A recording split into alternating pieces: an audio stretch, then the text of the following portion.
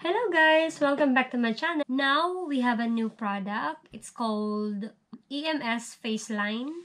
Para po siya sa mga medyo chubby ng konti yung face or yung mga bilugan or yung may mga excess fat sa dito sa gilid ng mukha. So, let's open it! Siya. Buksan na po natin.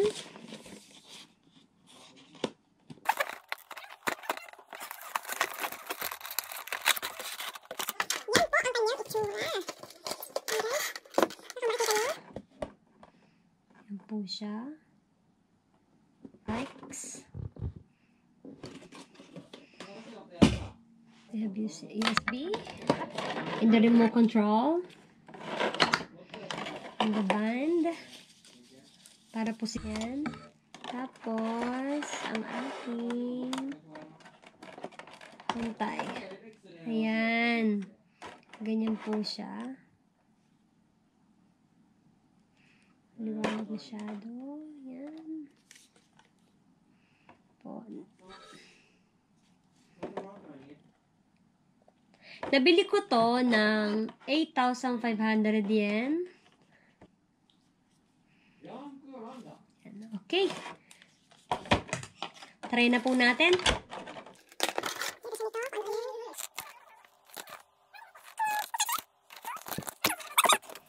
Ayan guys, mag-umpisa na po tayo.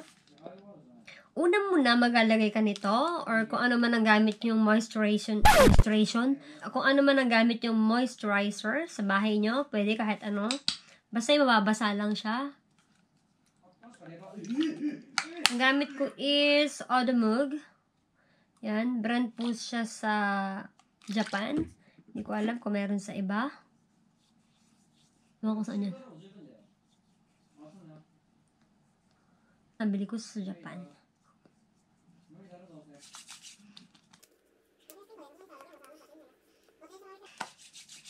Then, we put this belt.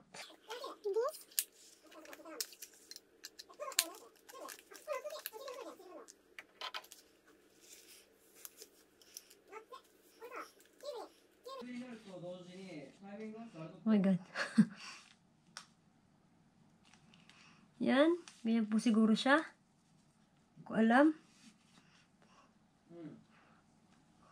Oh my God. Yan ang ulo ko eh. Ganyan po siya. Then, push the button.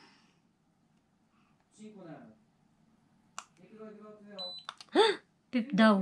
Yan, para man ako na-stroke. Wait. EMS lift.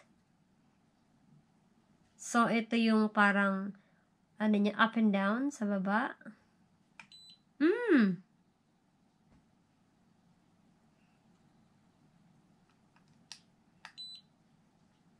Oh, okay. Ah!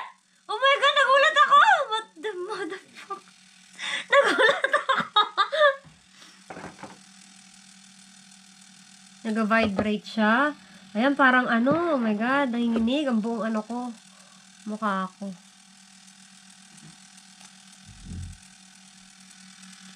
It's like tingling.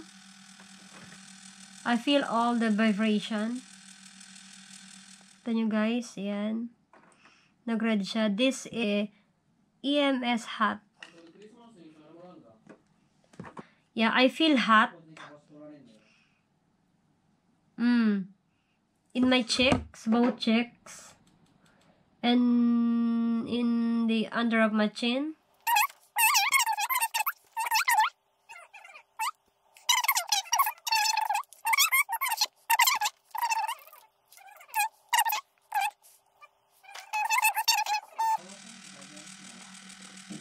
And the sun is a vibration.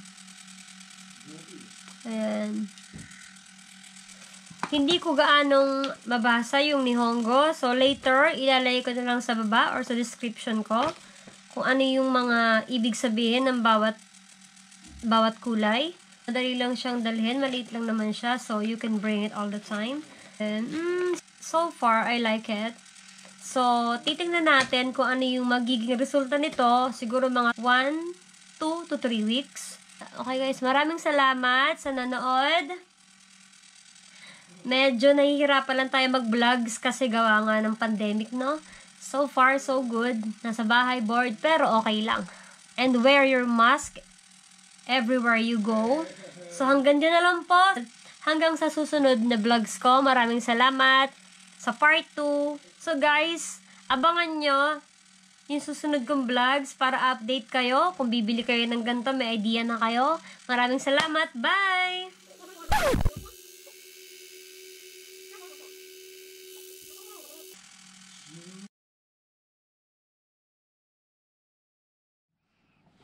Ayan guys, kusa na po siyang huminto. Huminto na yung ano niya, vibration niya, at saka yung ilaw. Medyo parang yung mukha ko na mainit. Yun yung feeling niya. Ayan. Ano yung mukha ko? Lumit na ba?